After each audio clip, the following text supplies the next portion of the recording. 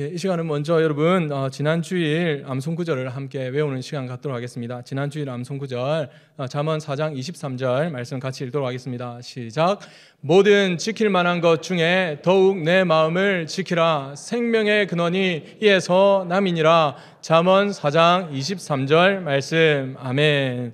이번 주 암송 구절도 함께 읽겠습니다. 빌립보서 2장 5절부터 8절 말씀입니다. 같이 읽겠습니다.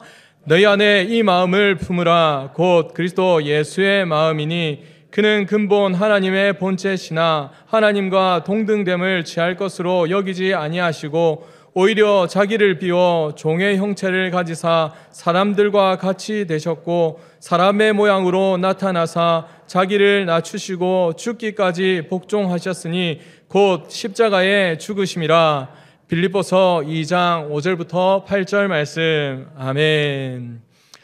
여러분 저는 오늘 누가복음 6장 20절부터 26 20절부터 26절의 말씀으로 영원한 행복을 위하여라는 제목으로 하나님의 말씀을 전하고자 합니다. 이 시간을 통해서 여러분에게 주시는 하나님의 풍성한 은혜를 받으시기를 바랍니다. 여러분은 한 주간 어떻게 보내셨습니까? 한 주간을 무엇을 위해 달려오셨습니까? 어떤 꿈을 꾸며 살아오셨습니까? 우리 모두는 행복을 꿈꾸며 살아갑니다. 미래의 행복을 위해서 오늘 수많은 노력을 합니다. 공부를 하고 자격증을 따고 자녀 교육에 열을 올리고 다이어트를 하고 운동을 하고 저축을 하고 노후 보장을 위해 연금을 들어 놓습니다. 모두가 행복한 미래를 꿈꿉니다. 그래서인지 우리가 어린 시절 읽은 동화의 결말은 모두 해피엔딩이었습니다. 그리고 그들은 모두 행복하게 살았더라로 끝나는 것입니다. 우리 모두의 마음이 소원이 동화의 결말에 스며든 것이라 생각됩니다. 오늘 본문은 예수님이 가르치신 복 또는 행복에 대해 말씀합니다. 마태복음에는 팔복이 나오는데 오늘 누가복음에는 팔복이 아니라 사복이 나옵니다. 팔복이 아니라 네 가지 복과 네 가지 화, 사복 사화를 말씀하고 있습니다. 하지만 오늘 본문에 나오는 사복은 모두 팔복 마태복음 팔복에 들어 있는 것들입니다. 오늘 본문에서 예수님은 복과 화를 대조해서 말씀하시므로 인생에 두 가지 갈림길이 있을 수밖에 없음을 보여주고 계십니다. 최고의 행복이 무엇인가? 최악의 비참함이 무엇인지를 알려주시는 것입니다. 예수님은 복과 화에 대해 말씀하시면서 확실한 선을 그으십니다. 어떤 삶이 복된 삶인지, 어떤 삶이 불행한 삶인지를 구분하시는 것입니다. 왜 이렇게 선을 그으십니까? 많은 사람들이 열심히 살아갑니다. 많은 사람들이 열심히 살아가지만 잘못된 길로 가기 때문입니다. 성공할 것이라 보이는 방법들, 성공적인 방법들을 어, 사용해서 행복을 추구합니다. 하지만 그 결국은 아무것도 남는 것이 없는 슬픈 길인 것입니다. 그래서 예수님은 행복과 불행, 복과 화를 구분해서 뚜렷이 구분해서 대조해서 말씀하는 것입니다. 우리를 주님 곁으로 다가오도록 우리를 이끌고 계신 것입니다. 사복과 사화의 말씀을 통해서 주님은 오늘 우리에게 도전하고 계십니다. 세상의 방식의 행복을 추구할 것인가? 예수님의 방식을 따라서 진정한 하늘의 행복을 받을 것인가? 예수님은 우리가 진정한 행복, 영원한 행복에 이르기를 바라십니다. 그리고 어떻게 하면 우리가 영원한 행복에 이를 수 있는지를 오늘 가르쳐 주고 계십니다. 그렇다면 영원한 행복을 위하여 우리는 어떻게 해야 한다고 말씀하고 있습니까? 첫 번째로 진정한 행복이 무엇인지 고민해 보아야 된다고 말씀합니다. 오늘 본문과 대면하는 순간부터 우리는 어려움에 봉착합니다. 예수님이 하시는 말씀이 무슨 말씀인지 쉽게 이해가 되지 않기 때문입니다. 그래서 말씀 앞에 저절로 멈춰서 고민하게 됩니다. 주님은 우리가 바쁘게 살아가던 삶, 어, 근심과 걱정, 분주했던 마음들, 그리고 오만 가지 생각으로 복잡했던 우리의 생각들을 내려놓고 오늘 깊이 고민하고 생각해 보라고 하십니다. 그렇게 우리는 오늘 본문을 통해서 무엇을 말씀하시는지 먼저 살펴볼 필요가 있겠습니다. 오늘 본문은 그 시작부터 누구에게 주어진 말씀인지를 밝히고 있습니다. 누구에게 주어진 말씀이라고 하고 있습니까? 주님께 나온 제자들에게 주신 말씀이라고 합니다. 오늘 본문 6장 20절 말씀을 같이 읽겠습니다. 예수께서 눈을 들어 제자들을 보시고 이르시되 너희 가난한 자는 복이 있나니 하나님의 나라가 너희 것이며. 제자들이 예수님께 나오자 예수님께서 눈을 들어 제자들을 보시고 그들을 향해서 너희라고 부르십니다. 너희 너희라고 부르시며 말씀하십니다. 너희 가난한 자는 복이 있나니 하나님의 나라가 너희 것이며 여러분 하나님의 말씀은 물론 모든 사람들을 위한 것입니다. 하나님께서 모든 사람들을 사랑하시기 때문에 모든 사람들에게 주시는 하나님의 말씀은 모든 세상 사람들에게 주시는 말씀입니다. 하지만 오늘 말씀은 특별히 예수님께 나온 제자들에게 하셨다 말씀하고 있습니다. 예수님께서 복을 선언하신 대상, 복을 선언하고 계신 대상은 예수님을 따르는 제자들, 믿음으로 따르는 성도들이라는 것입니다. 무엇을 말씀하는 것입니까? 우리가 예수님께서는 우리가 진정한 제자가 되기를 바라신다는 것입니다. 우리가 진정으로 복 받는 성도가 되기를 바라신다는 것입니다. 주님은 우리가 진정으로 예수님을 따르는 제자가 되기를 바라십니다. 이 복을 받는 저와 여러분 되시기를 바랍니다. 예수님의 가르침을 보면 복된 네 가지 부류의 사람이 있고 또 불행으로 끝나는 네 부류의 그룹의 사람들이 있습니다. 무엇을 말씀하는 것입니까? 세상에 에, 혼돈스러운 상황이 많고 혼돈스러운 상황이 많고 혼란스러운 가치가 많으니까 또다시 잘 살피라는 말씀인 것입니다. 예수님은 복된 상태, 행복이라는 개념을 오늘 새롭게 재정의하고 싶어 하십니다. 그래서 역설적으로 말씀하십니다. 가난한 자가 복되고 줄인 자가 복되고 우는 자가 복되고 핍박 박해받는 자가 복되다고 하십니다. 반대로 부자면 부자로 살면 위태하고 배부른 자는 굶게 될 것이고 웃는 자는 애통하며 울게 될 것이고 칭찬을 받으면 화가 있다고 말씀하십니다. 오히려 우리에게 좋아 보이는 것들이 불행으로 끝이 나고 이 세상에서는 별로 좋지 않아 보이는 것들을 영원한 행복으로 이끄는 것일 수 있다는 것입니다. 여러분 이런 긴장을 통해서 주님은 우리가 그동안 가지고 있었던 생각들을 새롭게 고쳐보라고 하십니다. 진정한 행복이 뭐, 행복이란 무엇인가? 진정한 행복이란 무엇인가? 행복의 의미에 대해서 생각해 보라는 것입니다. 진정한 행복이 무엇인지 깊이 생각해 보고 묵상하며 마음에 새기는 저와 여러분 되시기를 바랍니다. 어떻게 해야 영원한 행복을 얻을 수 있습니까? 두 번째로 예수님을 위해서 살아야 된다 말씀하고 있습니다. 그런데 우리는 다시 문제를 만나게 됩니다. 예수님은 가난을 좋아하시는 걸까요? 그리고 이 가난은 물질적인 가난을 말하는 걸까요? 아니면 영적인 것으로 이해해야 할까요? 마태복음에서 예수님은 가난을 심령이 가난한 자라는 말씀으로 영적인 측면으로 말씀해 주셨습니다. 예수님은 배가 배고픈 자가 복되다고 하시니까 그러면 우리는 예수님 배고픈 자가 복되다고 하시니까 우리 모두가 지금 살을 빼 살을 빼기 위해서 노력해야 되는 것입니까? 다이어트를 하라는 말씀입니까? 예수님은 우는 자가 복되다고 하시니 웃고 기뻐하는 것보다 울어야 한다는 것입니까? 우울증을 가지기 위해서 피나는 노력을 해야 된다는 말씀입니까? 칭찬을 받으면 좋지 않으니 나를 미워하는 사람 한 사람만큼은 꼭 한 사람만큼은 가지고 있어야 된다는 것입니까? 이런 상황들, 이런 것들이 훌륭한 덕목이라도 된다는 말씀을 지금 주님께서 하시는 것입니까? 아닙니다.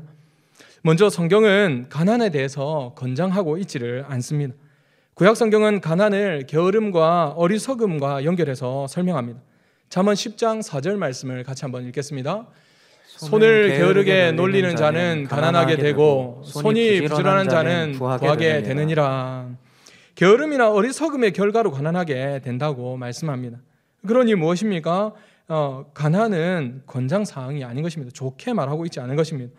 구약의 믿음의 조상이었던 아브라함도 어땠습니까? 부자였습니다. 그리고 예수님이 이 땅에서 사역하실 때에 공생의 사역을 하실 때에 예수님과 제자들을 물질로 도우고 지원했던 어, 입히고 먹였던 그런 부요했던 믿음의 여인들이 있었다라고 성경은 말씀하고 있습니다. 성경은 어떤 사람을 평가할 때에 그 사람이 처한 상황이나 형편을 가지고 흑백 논리로 이분법적인 사고로 그 사람을 평가하지 않습니다. 무조건 가난한 사람은 칭찬하고 부유한 사람은 비난하고 있지 않은 것입니다. 오늘 본문에 나오는 나머지 상황에 대해서도 그렇습니다. 배고픈 사람, 배부른 사람, 우는 사람, 웃는 사람, 비난을 받는 사람, 칭찬을 받는 사람, 어느 한쪽을 절대적으로 옳다 말씀하고 있지 않은 것입니다. 하나님은 은혜로 우리에게 먹을 것을 주시고 우리의 필요를 채워 주시는 분이십니다. 그러니 가난이나 굶주림이나 우는 것이 그것 자체로 하나의 덕목이라고 할 수 없는 것입니다. 그럼 예수님의 말씀의 의미는 무엇입니까? 어떻게 이해해야 됩니까? 예수님의 말씀을 이해하기 위해서는 두 가지 열쇠를 가져야 됩니다. 하나는 예수님께서 제자들에게 하신 말씀을 기억하는 것입니다. 예수님께서 지금 오늘 이 말씀도 제자들에게 하고 있는 말씀이니까 예수님께서 먼저 앞에서 제자들에게 했던 말씀을 기억하는 것이 좋습니다. 누가복음 5장 11절 말씀을 같이 읽겠습니다. 그들이 배들을 육지에 대고 모든 것을 버려두고 예수를 따르니라. 5장 28절 말씀도 같이 읽겠습니다.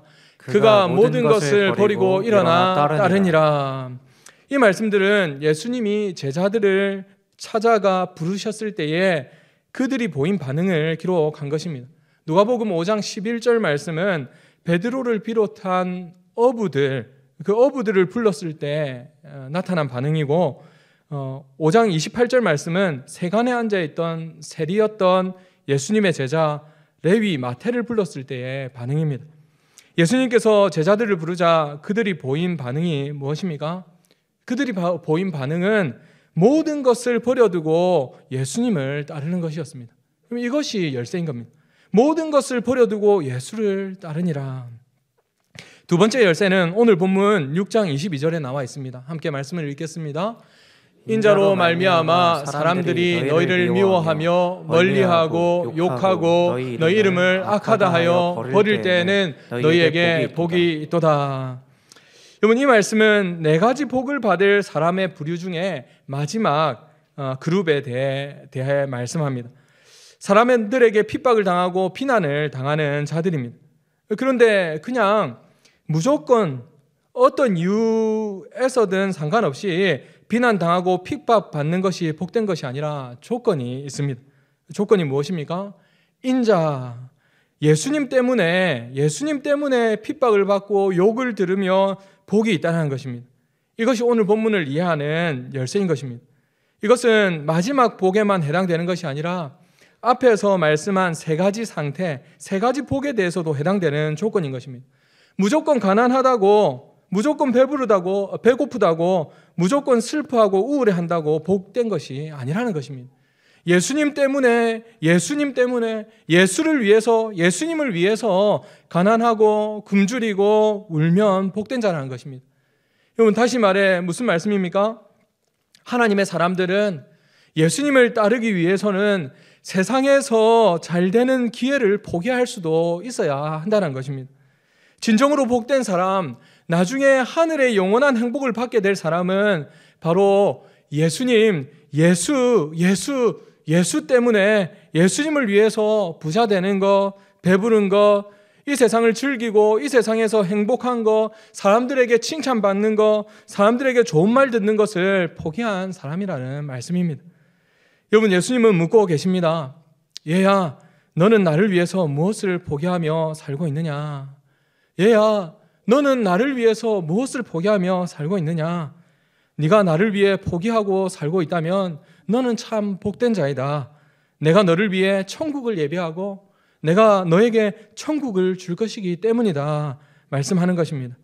주님께 이 말씀을 듣는 저와 여러분 되시기를 축복합니다. 어떻게 해야 영원한 행복을 얻을 수 있습니까? 세 번째로 영적인 눈이 열려 이 세상이 아니라 영원하신 하나님을 의지해야 된다고 말씀하고 있습니다. 예수님은 역설적으로 복과 화를 말씀하십니다. 오늘 본문 6장 21절 말씀을 같이 읽겠습니다. 지금 줄인 자는 복이 있나니 너희가 배부름을 얻을 것이미요 지금 우는 자는 복이 있나니 너희가 웃을 것이미요 21절은 두 번째 복과 세 번째 복을 연이어 말씀하고 있습니다. 그런데 21절에서 주목해야 할 것은 반복되고 있는 것은 지금이라는 단어입니다. 지금, 지금이라는 단어인 것입니다. 주님은 지금이라는 말씀을 사용하시면서 모든 것이 지금과는 전혀 반대로 뒤바뀌게 될 것이라고 말씀하십니다. 예수님은 이 땅에서의 복이 아니라 미래의 복을 복에 대해서 말씀하고 있는 것입니다. 지금이라는 말씀을 사용하시므로 지금과 나중, 지금과 미래, 오늘과 영원을 대조하고 계신 것입니다. 우리가 영원한 하나님 나라의 관점을 가지고 살아야 할 것을 가르치고 계신 것입니다. 그러니 무엇을 말씀하는 것입니까? 영원한 관점을 가진 자가 되라는 것입니다. 영원한 행복을 위해서는 영원한 관점이 필요로 하다라는 것입니다. 현재가 아니라 미래를 염두에 두고 살아가는 저와 여러분 되시기를 바랍니다. 주님은 오늘 우리가 눈이 열려서 모든 것을 영원의 관점에서 보기를 원하십니다. 모든 상황과 우리가 겪고 있는 형편과 환경에 대해서 오늘 우리가 마주하는 현실에 대해서 영적인 눈으로 그것들을 보기를 원하시는 것입니다.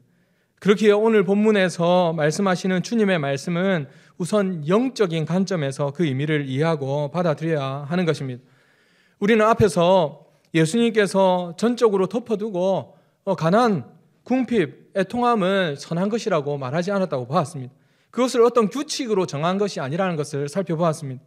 반대로 부유하고 배부르고 웃고 있는 것을 악한 것이라고 그냥 덮어두고 정의한 것이 아니라는 것을 살펴보았습니다. 그러므로 예수님이 가난, 굶주림, 슬픔 등에 대해서 복되다고 하실 때 이 말씀은 우선적으로 영적인 것으로 이해해야 하는 것입니다. 여러분 물론 물질적으로 궁핍한 사람이 심각하게 궁핍한 사람이 좀 더 하나님께 하나님 앞에 나오고 하나님께 대해서 자신의 영적인 궁핍함과 영적인 필요까지도 더 잘 깨닫는 경향이 있습니다. 반대로 물질적으로 부유한 사람은 자신의 영적인 필요를 깨닫지 못하고 둔감하고 그래서 하나님 앞에 잘 나아가지 못하는 경우가 많이 있는 것입니다. 하지만 우선은 이 의미를 영적으로 받아들여야 하는 것입니다. 부자라고 다 악인이고 천국에 가지 못하고 가난한 자들보다도 더 악한 사람이라고 생각해서는 안 된다는 것입니다. 그리고 가난한 사람이라고 해서 언제나 하나님 앞에서 더 영적으로 민감성이 있고 올바르게 행동한다고 여겨서도 안 된다는 것입니다. 그러니 오늘 말씀을 통해서 주님은 우리의 영적인 눈을 뜨게 해 주기를 원하십니다. 오늘 말씀을 통해서 영적인 눈을 뜨시는 저와 여러분 되시기를 바랍니다. 예, 다시 말해 예수님은 우리의 물질적인 필요를 위해서 오신 것이 아니었습니다. 우리의 물질적인 필요나 가난이나 물질적인 궁핍이나 육신적인 슬픔의 문제를 해결하기 위해서 이 땅에 오신 것도 아니고 십자가에 달려 죽으신 것도 아니라는 것입니다. 예수님은 우리의 영적인 가난, 영적인 궁핍, 영적인 문제를 해결하기 위해서 오셨습니다. 죄로 인한 슬픔을 해결하기 위해서 오셨고 그 죄로부터 우리를 구원하기 위해서 십자가에 달려 죽으신 줄 믿으시길 바랍니다. 예수님이 말씀하시는 복된 가난하고 굶주린 사람은 바로 결핍을 아는 사람입니다. 자신의 고통스러운 결핍의 원인이 하나님과의 그 단절에 있음을 아는 것입니다. 스스로 그 공허함과 굶주림을 어떻게 할 수 없어서 하나님을 찾고 하나님께 나온 사람입니다. 자신이 가진 문제가 근본적으로는 영혼의 문제이고 영적인 문제인 것 알기에 그 문제가 다른 어떤 사람과의 관계를 통해서 해결될 수 없고 사회나 어, 종교의 어떤 지위나 힘을 통해서 해결될 수 없음을 아는 것입니다. 자기 자신이 어떻게 할 수가 없고 그 어디에서도 어떤 도움을 찾지 못해서 예수님께 나아온 것입니다. 주님은 바로 이런 가난하고 굶주리고 슬픔 가운데 있는 사람이 복되다고 말씀하십니다. 여러분은 여러분 여러분은 어떠십니까? 이런 가난과 궁핍을 겪고 계십니까? 이런 가난과 궁핍과 슬픔을 겪어 보셨습니까? 그래서 예수님께 나오셨습니까? 그렇다면 예수님이 말씀하신 그 복된 자가 바로 저와 여러분인 줄 믿으시길 바랍니다. 하지만 예수님은 지금 가난 자체를 권장하고 계신 것이 아니라고 설명드리고 있습니다. 가난 자체가 복된 것이라고 말씀하지 않습니다. 자신의 궁핍을 알고 예수님께 나아온 것이 복되다고 하십니다. 여러분, 무엇이 복되다고요? 예수님께 나아온 것이 복된 것입니다. 그렇게 오늘 본문에서도 예수님이 복되다고 하는 사람은 바로 누구입니까? 예수님 앞에 나온 예수님의 제자들입니다. 아무런 재산도 없고 자원도 없고 능력도 없고 힘도 없고 또 재능도 없어서 지혜도 없어서 하나님께 기댈 수밖에 없는 사람들, 하나님께 기대야만 하는 사람들, 그 사람들인 것입니다. 기댈 만한 것을 하나도 가진 사람이 없는 사람, 그 사람이 가난한 사람입니다. 그런 예가 누구입니까? 구약의 모세입니다. 하나님은 그가 모세가 애굽의 왕자로 있을 때에 권력이 있고 사람들이 알아주고 젊고 똑똑하고 모든 걸 할 수 있을 때 그를 부르지 않으셨습니다. 하나님은 모세가 강야를 지나서 자신에게 의지할 것이라고는 아무것도 없을 때에 알아주는 사람이 아무도 없을 때에 늙고 보잘것 없을 때에 자신이 아무것도 아닐 때에 모세를 불러 주신 것입니다. 아무것도 의지할 것이 없는 모세는 이제 하나님만 의지할 준비가 된 것입니다. 예수님은 우리에게도 이런 준비를 시켜주고 계십니다. 하나님을 의지하는 참 복된 자가 되라는 말씀입니다. 세상의 것이 아니라 영원한 하나님을 바라보고 하나님을 의지함으로 영원한 하나님 나라를 받아 누리는 복된 자들이 되시기를 바랍니다. 마지막 네 번째로 어떻게 해야 영원한 행복을 얻을 수 있습니까? 두 가지 인생의 방식이 있음을 알고 하나님을 택하는 자가 복들 받는다 말씀하고 있습니다. 여러분 오늘 본문에서 주님은 여덟 가지를 말씀하고 있습니다. 네 가지 복과 네 가지 화를 받는 그룹들을 말씀하십니다. 하지만 사실 주님은 크게 두 가지 그룹을 대조하고 있습니다. 복 받는 그룹과 화를 당하는 그룹입니다. 무엇을 말씀하는 것입니까? 인생에는 두 가지 삶의 길이 있다라는 것입니다. 세상이 제시하는 행복의 길이 있고 예수님이 가르치는 예수님만이 가르칠 수 있는 영원한 행복의 길이 있다는 것입니다. 여러분 지금 가난하고 배고프고 울고 핍박받는 그룹이 있고 지금 부유하고 배부르고 웃고 칭찬받는 그룹이 있습니다. 주님은 명백하게 다른 두 그룹이 있다고 말씀하십니다. 왜 주님은 이렇게 두 가지 그룹을 대조해서 나누어서 말씀하십니까?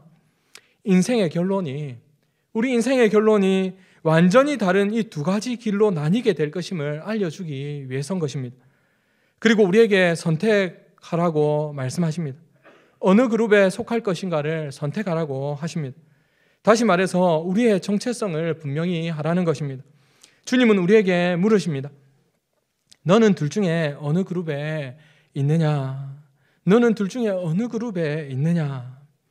예수님과 하나님 나라를 위해서 지금 가난하고 배고프고 울고 핍박받는 자인가? 아니면 세상에 속, 세상에서 세상에 속해서 세상의 것만으로 부유하고 배부르고 웃고 칭찬받는 자인가? 주님은 선을 긋고 어, 분명히 말씀하십니다. 중간은 없다고 하십니다. 어중간하게 걸쳐 있을 수도 없습니다. 그러므로 너희 가난한 자는 복이 있나니 지금 줄인 자는 복이 있나니 지금 우는 자는 복이 있나니라는 이 말씀은 우리 삶에서 가장 중요한 것을 가르칩니다. 우리의 진정한 필요가 물질적인 것이 아니라 영적인 것임을 말씀하는 것입니다. 이것을 깨달아야 한다는 것입니다. 우리 안에 영적인 갈증, 갈망, 목마름, 사모함, 원함, 애달픔이 있어야 한다는 것입니다. 만족 없는 세상을 향해서 이런 마음을 가질 것이 아니라 하나님을 향해서 이런 마음을 가져야 된다는 것입니다. 그러므로 그런 추구가 있는 사람, 그 사람이 복된 사람입니다. 세상의 좋은 것들을 쌓는 삶을 추구하기보다는 하나님 앞에서 자신의 영적인 궁핍을 깨닫고 하나님께 나온 자들이 복된 자들입니다. 자신에게는 자신을 구원할 아무런 능력이 없음을 알고 세상의 성공을 포기하고 하나님께로 나온 자들이 복되다고 하십니다. 반대로 주님은 말씀하십니다. 누가복음 오늘 본문 6장 24절 말씀을 읽겠습니다. 그러나 화 있을진저 너희 부요한 자여 너희는 너희의 위로를 이미 받았도다. 예수님은 부자에 대해서 말씀하십니다. 이 말씀을 듣는 우리는 때로 생각합니다. 어, 저는 돈이 많지 않으니까 저하고는 상관없는 말씀이네요. 하지만 여러분 그렇지가 않습니다. 여기서 부자는 돈이 많은 부자가 아닙니다. 어, 그렇다면 여기서 말하는 부자는 어떤 사람입니까? 예수님은 이 세상이 다인 것처럼 이 세상의 것으로 자신을 충족하고 자신의 만족으로 삼았던 사람을 향해서 말씀하고 있는 것입니다. 그러므로 우리는 돈이 없어도 돈이 없어도 예수님이 말씀한 이 부자일 수 있는 것입니다. 돈이 많고 적음에 관계없이 우리는 부자일 수 있는 것입니다. 이 세상이 다인 것처럼 살아가고 있다면 이 세상이 다인 것처럼 이 세상의 것들로 기쁨을 삼고 만족한다면 우리는 예수님이 말한 바로 그 불쌍한 부자인 것입니다. 누가복음 12장 21절 말씀을 같이 읽겠습니다.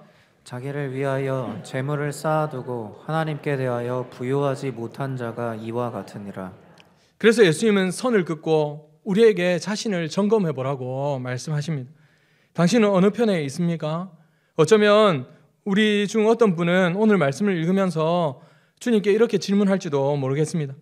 주님, 저는 그 주님 가난하지도 않고 부자도 아닌 사람은 어떻게 됩니까? 주님, 저는 그냥 적당히 벌어먹고 살아가는 사람입니다. 단지, 단지 중산층일 뿐입니다.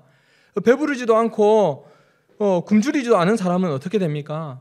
저는 잘 울지도 않지만은 그렇게 잘 웃지도 않습니다. 어, 저는 사람들이 저에게 썩은 달걀을 던지지도 않지만은 저를 그렇게 열렬히 환영하지도 않고 어, 저는 인기가 있는 것도 아닙니다. 저는 중간에 있습니다. 저는 어떻게 됩니까? 하지만 주님은 말씀하십니다. 얘야 아니란다. 제 삶의 선택은 없어. 중간 영역은 없단다. 나를 위해 살고 있거나 나를 반대하고 있거나 둘 중에 하나야. 이 세상의 행복을 위해서 살고 있거나 영원한 하나님 나라의 행복을 위해 살고 있거나 한 것이란다. 사람이 두 주인을 섬길 수는 없단다. 주님이 말씀하는 것입니다. 사실 화를 당하게 될 것이라고 하는 네 가지 부류의 사람들, 화를 당하는 네 가지 부류의 사람은 우리에게 자주 우상이 되는 것들입니다.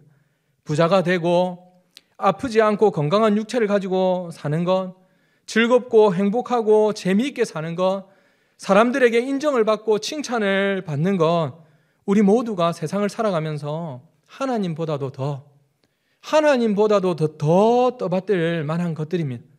그렇기에 오늘 주님의 말씀은 구약 성경에서 주님의 이름 예수, 주님의 이름 예수와 같은 이름인 여수아가 던졌던 질문을 하고 있는 것입니다. 여호수아 24장 15절 말씀을 같이 읽겠습니다. 만일 여호와를 섬기는 것이 너희에게 좋지 않게 보이거든 너희 조상들이 강 저쪽에서 섬기던 신들이든지 또는 너희가 거주하는 땅에 있는 아모리 족속의 신들이든지 너희가 섬길 자를 오늘 택하라. 오직 나와 내 집은 여호와를 섬기겠노라 하니 여러분 주님은 우리에게 분명히 경계선을 그어주고 계신 것입니다. 그리고 선택하라고 하십니다. 이 땅에서의 삶과 일시적인 즐거움을 위해 살고 있습니까? 예수님과 그분의 영원한 왕국을 위해서 살고 있으십니까? 세상에 한 발, 하나님 나라에 한 발 걸치고 살 수는 없습니다. 우리는 어떤 존재입니까? 예수님을 따르는 영원한 행복을 위해 사는 자들입니까? 예수님의 편의 선자로 정체성이 확실한 저와 여러분 되시기를 축복합니다. 세상의 우상을 택해서 세상 우상들이 주는 편의와 즐거움에 빠져 살지 말고 하나님만을 의지하고 하나님만을 우리의 만족과 기쁨으로 삼는 저와 여러분 되시기를 축복합니다. 말씀을 정리하겠습니다. 여러분 우리는 주님을 위해 무엇을 포기하고 있습니까? 다시 한번 분명히 알아야 합니다. 두 가지 길밖에 없습니다. 그리고 둘 중에 하나를 선택해야 됩니다. 중간은 없습니다. 영원한 행복을 얻고 싶다면 예수님을 선택하십시오. 예수님을 얻을 때에 영원한 행복, 해피엔딩의 주인공이 될 것입니다. 주님을 위해 모든 것을 포기하고 귀하신 주님을 얻고 주님이 주시는 영원한 천국의 행복을 상속하는 저와 여러분 되시기를 축복합니다. 함께 기도드리겠습니다.